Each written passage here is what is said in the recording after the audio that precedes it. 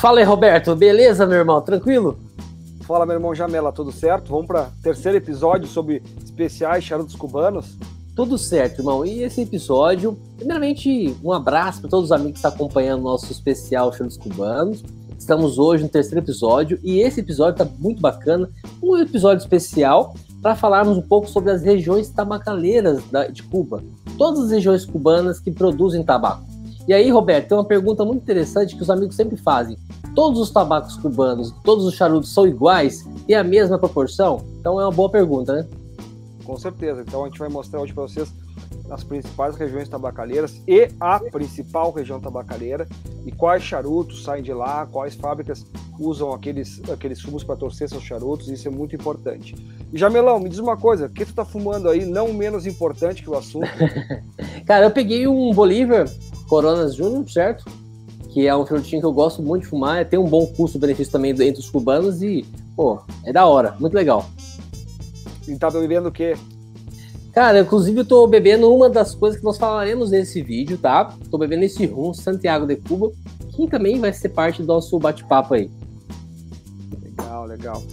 Tô fumando aqui um charuto, vocês vão ver que tá sem anilha, porque ele vem neste cedro, né? Então vendo o cedrinho. Esse aqui é um Romeo Julieta Cedros Deluxe, entendeu? Especial Caselabano. Então, como a gente falou no último vídeo, esse charuto ele não tem um blend diferente, e sim um formato diferente. Então ele é feito com essa bitola aqui especial para Casa Labano. Não se compra fora da Casa Labano esse tipo de bitola. Não é tradicional da linha da Romeo Julieta essa bitola. Tem o normal do Coronitas em cedro e outros de cedro, mas esse Cedros Deluxe é só nessa, nessa bitola especial Casa Labano. Esse charuto é muito bom. Fumei muito, viu, Roberto? Já fumei muito charuto. Gostei sempre, cara. É. é Quem tem a oportunidade de provar. Um é, é, e uma bitola no, boa, generosa. Mas né? no, no, especial sobre o Romeu e Julieta falaremos sobre ele, com certeza, porque ele é um ótimo charuto. Bom, pessoal, então aqui falaremos agora um pouco sobre todas as regiões tabacaleiras aí de Cuba, cada uma delas especificamente, e quais marcas estão relacionadas a cada uma dessas regiões. Né, Roberto? Vai ser um bate-papo bem legal, então que vocês gostem aí tranquilo. É importante a gente entender da onde vem o fumo e por quê. Então, daqui a pouco a gente fala, ah, vem de Cuba, mas qual a localização, o porquê, né? É isso aí. Porra, Jamelão, tu me mostra essa foto aí da ilha de Cuba, cara, já tive aí três vezes.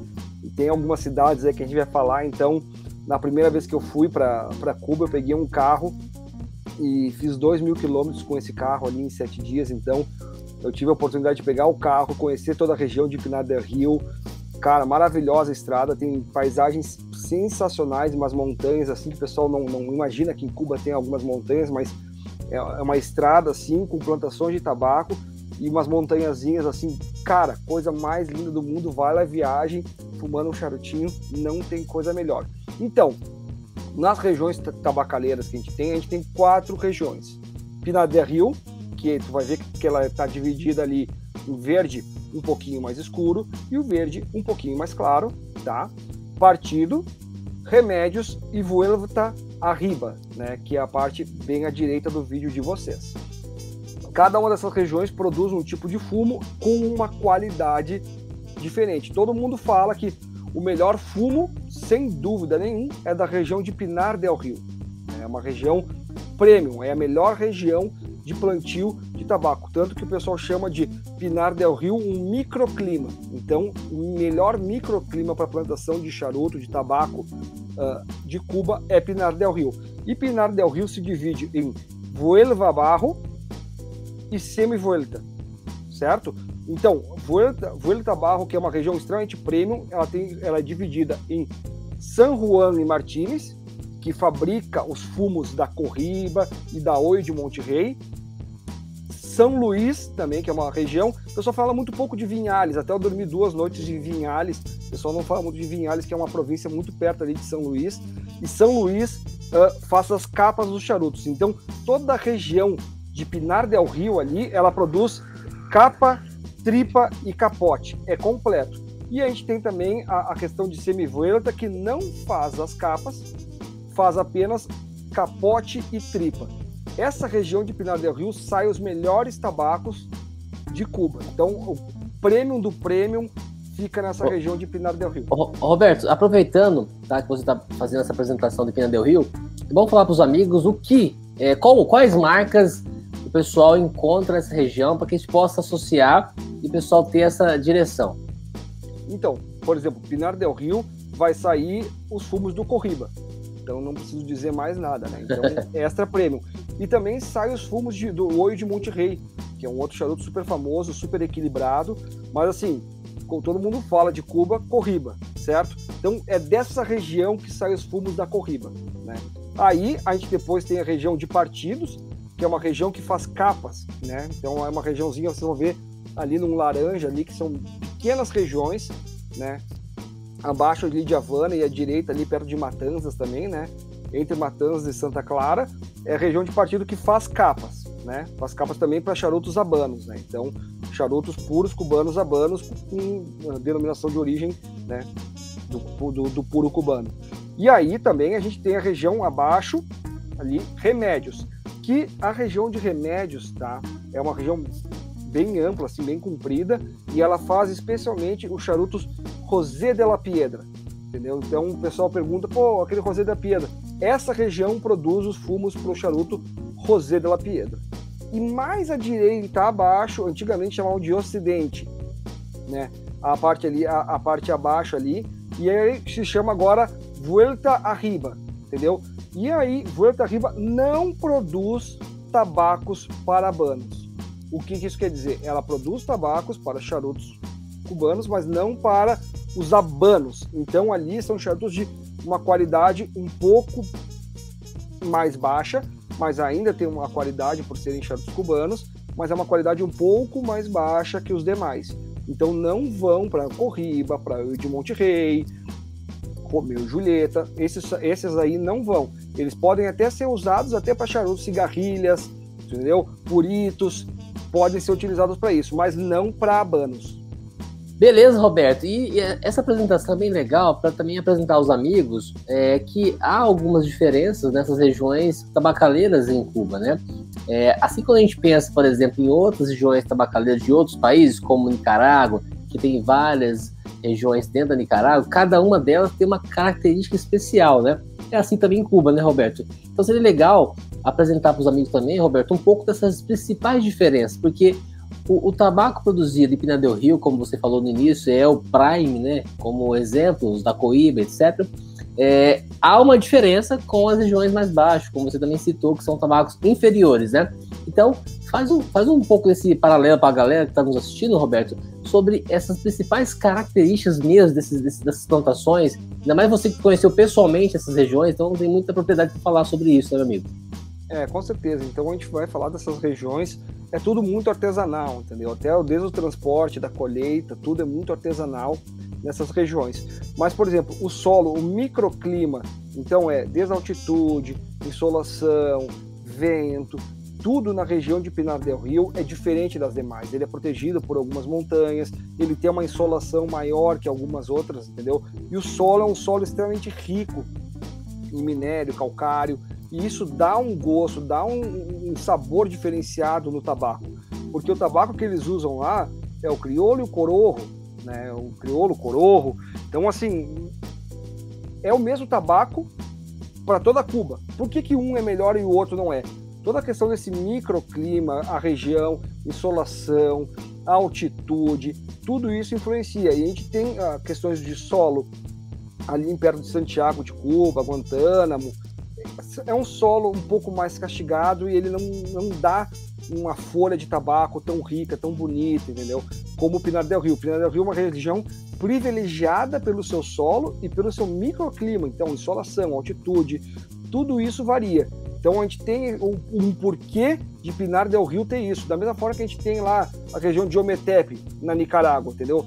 É, por que, que é tão é, diferente o fumo de Ometepe? Porque é uma questão sulfurosa, uma região vulcânica. Então existe um porquê ter essa diferença. E a região de Pinar del Rio é uma das melhores regiões do mundo. Igual a gente fala de vinhos, espumantes, entendeu? A de champanhe, entendeu? Então essa micro-região é a região perfeita para o nascimento do tabaco cubano. Então, o tabaco corojo lá, cubano, se identificou muito com essa região e sai folhas maravilhosas. Tanto que tu vai na plantação assim e, e tu vê aquele verde da plantação assim, é algo maravilhoso. E sem tanto uso de tecnologia, né? Isso que é interessante, né, Roberto? É a forma como que Cuba ainda trabalha com a plantação de tabaco, com o cultivo, né? Toda essa questão 100% artesanal. É, e, e, mesmo assim ainda consegue fazer muito charuto com muita qualidade, né? Claro que há muitas discussões atualmente sobre será que o tabaco cubano mudou mesmo? Será que o tabaco cubano ainda é o bom tabaco cubano de anos atrás? Há muitas discussões.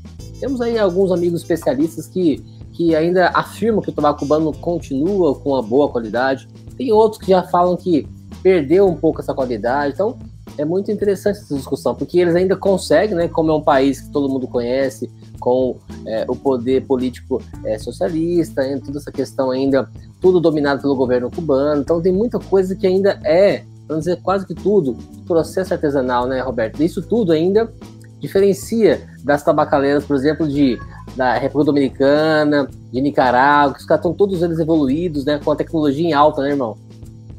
E, e, e é aquela situação Tu pega Cuba, não é toda a ilha que produz tabaco, tu entendeu?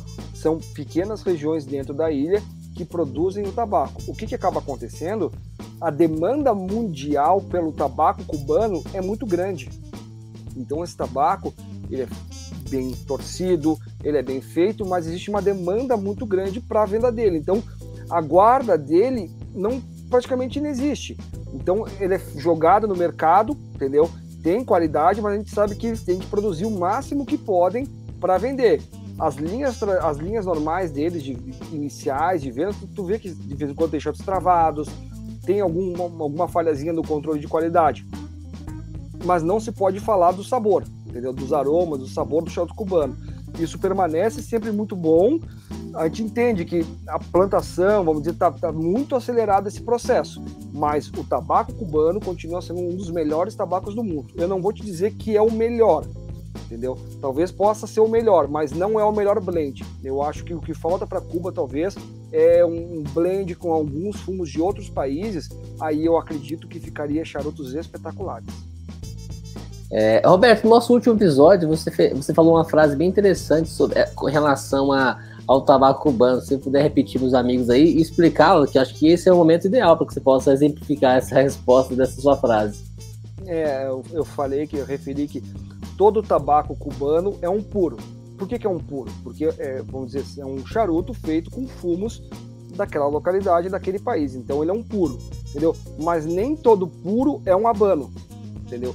Porque abano tem uma, uma, uma região controlada e se tiver aqueles protocolos para seguir e ser um abano, ele é um abano, mas não é todo chato que sai de Cuba que é um abano. Então, por exemplo, se a gente usar, por algum acaso, tabacos da região de Vuelva Riba, entendeu? Ele não vai ser um abano, entendeu? Porque esses tabacos classificados na região de Vuelva Riba não são tabacos que, vamos dizer, Cuba entende como super premium. Então, não vão ser colocados num abano. Agora, se eu pegar um charuto da região de Pinar del Rio, capa, trip, capote, ele vai ser um abano, entendeu? Tanto que na caixa dos abanos vem aquele selinho lá abano. Então, esse é um diferencial. Tu já sabe que está adquirindo um charuto com fumos da região de Pinar del Rio, partido e remédio. E por falar nessa região Voeta Riba, né, que você acabou de citar, é, nós temos o Santiago de Cuba, né? É, bem, bem, bem é. embaixo da Santiago de Cuba, perto de Guantánamo. Exato, exato. E, e inclusive, né, é, nós temos um charuto dessa região de Guantánamo, que é o Guantanameira, né? Que, que não é um abano. É. Entendeu? Não é um abano. Então o pessoal fala, de, o pessoal fala do uh, Guantanameira e tudo mais, mas não é um abano. Tu entende? Então, assim, ele, até tu fumando ele, tu vê que é um charuto com um fumo não tão qualificado, correto? Entendeu? Eles chamam de eles chamam de tripa corta, entendeu? Quando o charuto tem folha fumo picado ou ele tem medium filler, entendeu? Eles chamam de tripa corta e o charuto uh, que é o premium deles é o tripa larga. Então, cara, eu tô aqui continuando com o meu Bolívar Corona Júnior. É, já vou tomar uma outra dose do, do meu rum, né? Que é o rum Santiago de Cuba. Inclusive, Roberto, indicar esse rum aos amigos, tá? É um rum que tem um bom custo-benefício aqui no Brasil, né? Exatamente. Não é, um, não, é um, não é um rum é caro, é um rum legal. É, há um tempo atrás, é, era um rum que difícil encontrarmos aqui no Brasil. Uhum. Né? Agora nós já temos a importação dele oficial aqui, para algumas empresas aí estão de fato vendendo, então se encontra com mais propriedade e mais facilidade. Então, e tem, é uma boa indicação fazer um também. Morrito, né? né Jamela? É legal, fazer um muito morrito, gostoso. Tem, muito tem gostoso. O, o, o, de Cuba Carta Branca também, né? Que é uhum. o, a linha branca sem envelhecimento, né? Tem esse e tem um outro Santiago de Cuba, que é um pouco mais caro, né? Ele é um pouco mais ah, caro. Ah, sim, sim, sim. E, Porque esse aqui é errado, né? Esse aqui é errado. É, esse aqui são três anos, Roberto? Três Não, anos, três é. anos. Pra mim, eu acho que é da mesma linha que, que tem da, do Havana Club, né? Havana Club. Que é o negócio, o anerrado, três anos, aí tem o anerro sete. Mas é, é, é, uma opção bom. Sim, Roberto, eu gosto muito de fumar charuto tomando um rum, porque é uma bebida mais leve, né? Um teor alcoólico mais reduzido, né? Então são 38% de teor alcoólico. É legal. Acho que uma fumadinha mais, mais leve, assim, acho que pede um rumzinho. É, esse adocicado dele combina muito com o charuto. E, cara, é, apesar de que esse Bolívar Júnior aqui, por mais que seja um Bolívar, o Bolívar é Fortaleza forte, né? Então, é, Mas esse poderia, não é uma pancada, Eu não, poderia né? escolher uma bebida mais forte e tal. Mas esse em si é mais tranquilo. Se fosse um boleiro belicoso aqui, talvez eu fique pegar uma bebida um pouco mais é, intensa aí, porque iria combinar mais, né? Então, Roberto, legal falar um pouco sobre as regiões tabacaleiras de Cuba, dar uma exemplificada nisso, porque é, eu acho que faltava esse conteúdo aí para a galera que gosta de conhecer um pouco mais sobre essas regiões. Acho que é um, é um bom conteúdo. E convidar o pessoal para o nosso próximo episódio, que é o quarto episódio, que vai ser bem legal também. Que nesse episódio, Roberto, vamos falar sobre os charutos cubanos que não são encontrados facilmente no Brasil. São marcas aí avulsas, né, Roberto? Outras marcas que é, vocês não encontram aqui no Brasil, não estão aqui disponíveis na, na, e também não fazem parte, né, das marcas mundiais da, da banda SA. Então, vai ser um especial sobre charutos cubanos, as demais marcas, vamos estar fumando aqui alguns, falar um pouco sobre eles, né? E vai ser legal, né, Roberto? Com certeza, com certeza. E até o Jamela falou do rum. Eu não gosto de harmonizar meu charuto com aquele rum branco entendeu? Para mim, o rum branco não harmoniza bem com o charuto. Eu gosto realmente do rum com um, envelhecimento. Eu acredito que o envelhecimento no rum ele harmoniza melhor com o charuto, independente da fortaleza. Óbvio, quanto mais envelhecimento, para mim ele casa melhor com com um charuto com mais potência, né? Mas o, o vamos dizer, a linha, a, a, linha branca dele não me agrada muito, mas para drink é a melhor coisa que tem. Pô, é top mesmo, vale muito a pena. Galera, muito obrigado por estarem acompanhando a gente nesse, nesse terceiro episódio. Aguardamos você no próximo episódio, que vai ser bem legal também, como eu falei. Falaremos sobre outras marcas cubanas, não só falaremos, como vamos fumar algumas aqui, né, Roberto? A gente Com possa certeza. falar um pouco sobre elas, as histórias por trás dessas marcas aí, por que, que elas não vêm para o Brasil, ou por que elas são difíceis de ser encontradas. Falaremos sobre isso aí. Lembrar o pessoal que toda quarta-feira tem episódio novo aqui, especial de Cuba. E tá tão legal essa série, Roberto, que quando a gente encerrar o especial de Cuba, nós podemos fazer uma série sobre uma, um outro país aí, quem sabe o Nicarágua, o especial República Dominicana, Honduras, tem muita coisa legal aí para que a gente possa falar com os amigos aí, que eu tenho certeza que vão contribuir, que é uma coisa que a gente faz com muito, muito carinho, é um hobby nosso que a gente gosta, então nós estamos fumando, nós estamos fumando, batendo um papo aqui, gravando, isso é, isso é muito massa, isso é muito legal. Com certeza, a gente é negócio, a gente faz isso aqui porque a gente gosta, né? Então. Exato, é, um conteúdo. Diversão. Exatamente, é um conteúdo isento, a gente fala de boa, é como se a gente estivesse com vocês aí na frente de vocês trocando ideia. E aí a gente começa a ver os comentários de vocês e a gente vê que o que a gente está fazendo faz sentido. Muito legal, pessoal. Forte abraço. Aqui na descrição do vídeo tem o meu Instagram, tem o Instagram do Roberto também. Não se esqueça de se inscrever aqui no canal, para a gente é muito importante. Deixe um feedback, seja positivo ou seja negativo. Acho que o importante é que você fique tranquilo que esse é um espaço democrático. Um abraço, tamo junto aí, valeu. Valeu, pessoal. Até a próxima.